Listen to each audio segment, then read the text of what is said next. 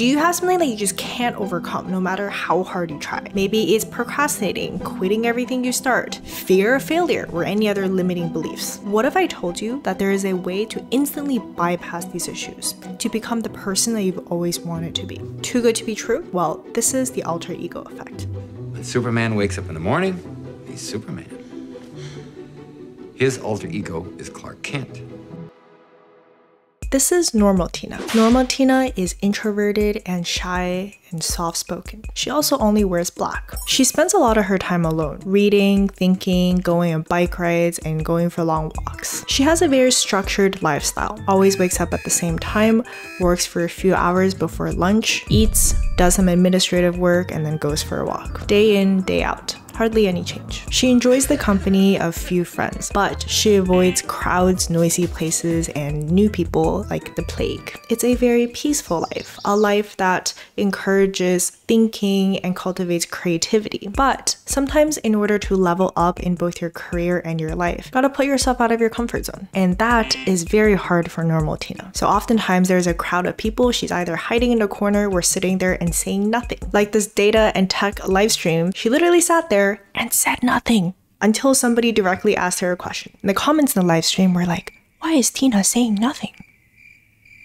But then there is, let's call her Alt Tina. She does have a name and I will share it later in the video for good reason. But yes, Alt Tina wears all white. She is extroverted and bubbly and confident. She thrives in the limelight. She's able to give speeches confidently, give talks, speak up in conferences, and she's charismatic. She loves meeting new people, learning about new things, and making new friends. She is also the one that you normally see. Alt Tina is my alter ego, and that is the alter ego effect. So before I dive into exactly what is an alter ego and the really powerful alter ego effect, first just want to make a quick plug for my newsletter called Boops Keyboard. It's about learning, it's about AI, it's also where I talk more about my life and the things that I create outside of YouTube, like Lonely Octopus, which is a program for learning AI and data skills to work on real freelance projects. An alter ego is a persona that embodies certain traits, superpowers, beliefs, and behaviors that is different than your normal self. This is something that so many performers and athletes in particular adopt and use in order to push themselves to greater heights. For example, Beyonce was raised in a pretty conservative Christian family. She started her singing career and singing beautifully in church choir every Sunday. So you can imagine how difficult it must have been for a girl with that kind of upbringing to be pushed into the limelight of pop culture, where she's expected to portray someone and to behave in a way that probably directly contradicted with a lot of her own values. So in order to cope with these new demands that were thrown on her, she created an alter ego called Sasha Fierce. Sasha Fierce is the fun, more central, more aggressive, more outspoken side, and more glamorous side that comes out when I'm working when I'm on the stage. And allegedly, even when she would get hurt or injured on stage, she wouldn't even feel the pain because Sasha Fierce pushed through it. Once you put on the wig and once yeah. you put on the clothes, you walk different. Kind of this character that I've, I've created over the years. Another example is the late Kobe Bryant, one of the greatest of all times in basketball. His alter ego, Black Mamba, was inspired by the movie Kill Bill. A Black Mamba is a snake that is agile and incredibly aggressive. Hence its handle, Death Incarnate. Pretty cool, huh? He said, I hear everything that the crowd is saying. And at that time, the crowd was saying things like chanting stuff like Kobe sucks, Kobe sucks. That got to him. So he had to separate himself, his personal life, from his performance in court and that's when he created his alter ego Black Mamba. He said Kobe was tasked with dealing with his personal challenges, and the Black Mamba handled business on court. He embodied that aggressiveness, that cold-hearted approach of not letting emotions affect him, and performed and executed. Okay, so now that we have an understanding of what an alter ego is and the amount of power it can have, the natural question that you're probably thinking now is how do I craft this alter ego and benefit from it then? So I read this book specifically dedicated to the alter ego, and it's called The Alter Ego Effect. And Todd Herman, the author, explains there is the ordinary world that you live in, where you may naturally be introverted, shy, have a lot of self doubt, have a lot of social anxiety, but you yearn to be something more, somebody more, somebody that embodies the traits that you wish you had. And that person can take you to the extraordinary world. A world where you're not haunted by your past, your insecurities, deeply ingrained limiting beliefs, like the fact that people made fun of you when you were little. But instead, in this extraordinary world, you can be someone who doesn't procrastinate fascinate, is charismatic, is confident, can go to meetups and places where you don't know anybody, just walk up and confidently introduce yourself. Somebody who can be an independent thinker, not a people pleaser, strong, not afraid to take risks. What I described just now is obviously specific to me, but in any case, the first step in creating an alter ego and really benefiting from that powerful alter ego effect is to first figure out, like what I did, the traits that define you in your ordinary world. Then what are the traits that you wish you had, things that you wish you could do that would put you into the extraordinary world. Let me know in the comments what yours are. Todd explains the next step is to breathe life into your alter ego. Take some time to think about your inspirations, and it could be a variety variety of things. It could be non-fiction characters. It can even be animals. There's this one businessman who has an alter ego that is a tortoise.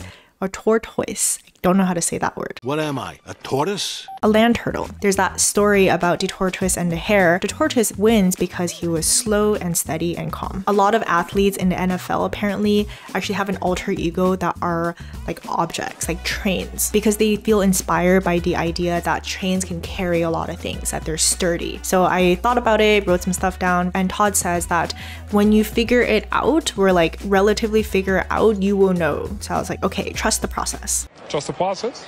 And he was right. The inspiration that forms the alter ego Tina is a combination of my mom, who doesn't want to be exposed on the internet, but let me just say that she is one of the strongest and smartest and most charismatic women I have ever met. I've just kind of viewed her as my superhero for a very long time. But to my surprise, I realized another big inspiration is the Greek goddess Artemis. Artemis is the goddess of the hunt. She's the daughter of Zeus, the god of the sky, and also the chief Greek deity, and Leto, her mom, which who is a titan. She's also the twin of Apollo, the god of music, dance, truth, and prophecy. Apollo represents the sun and Artemis represents the moon. She's an inspiration to my alter ego because I see her as someone who is strong with her bow and arrow that is unmatched by anyone except for Apollo. She's kind but also doesn't take people's shit. As the goddess of the hunt, she also embodies wilderness and freedom, including a freedom of expression that is charismatic and alluring and also clearly feminine. She shines like the moon in the dark and offers a way of life and thinking that was very different from what traditionally accepted at that time. I feel a very deep sense of connection with Artemis. And while doing this exercise, I suddenly realized that one of my favorite songs by the band The World is a Beautiful Place and I Am No Longer Afraid to Die. The song is called January 10, 2014, and I didn't realize it was about Artemis. So her Roman name is called Diana, and the lines go.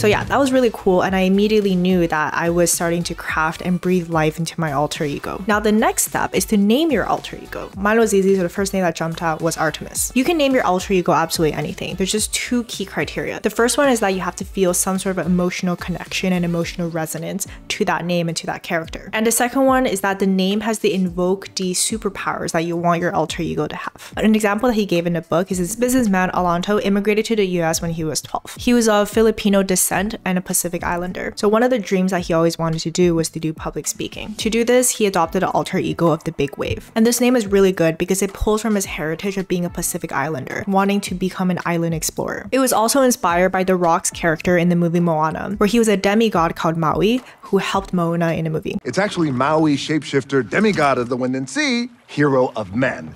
I interrupted. So if you have a name, great. If you don't have a name, don't worry too much about it. It's something that will evolve over time. All right, so the final step is to activate your alter ego with a totem or an artifact. There's a study done by the Kellogg School of Management where researchers were interested in the effect of a white coat on accuracy and attention when taking a test. They found that when participants wore a white coat that was associated with the painter's smock, there was no increase in attention and accuracy. But when participants wore that white coat and it was associated with being a doctor, then there was an increase in both attention and accuracy. This study showcases the importance of clothing and the psychological, symbolic meaning that is derived from that article of clothing. For example, when you imagine a doctor donning that white coat, then you think of someone who is probably calm, smart, collected, attentive. So no wonder attention and accuracy improved on tests. They named this phenomenon enclothed cognition, which is the effect that clothes affect human cognition based on both symbolic meaning of it and a psychological psychological experience of wearing it. So, yes, the power of symbols. So now you have this alter ego, right?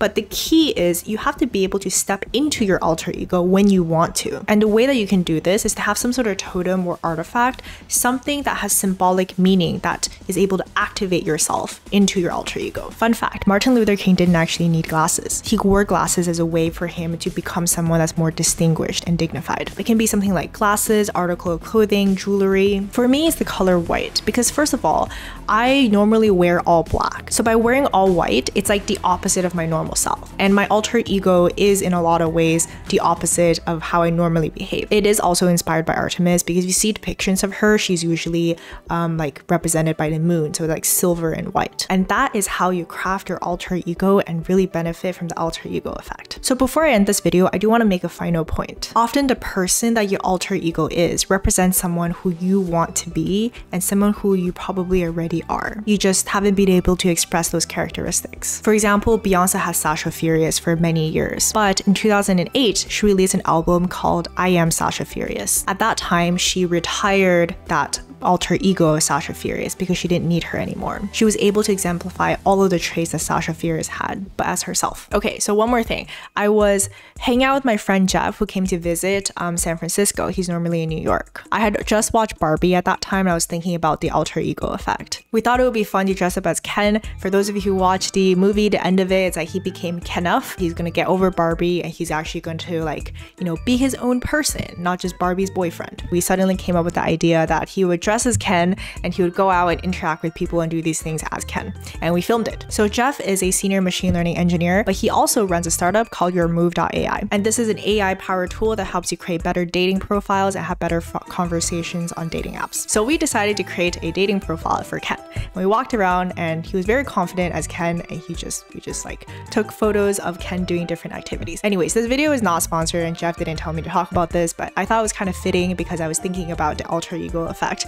at that time. So if you're interested in the dating scene, I would highly recommend checking out Jeff's app, YourMove.ai. I'll link it in the description. All right, everyone. So that is the end of today's video.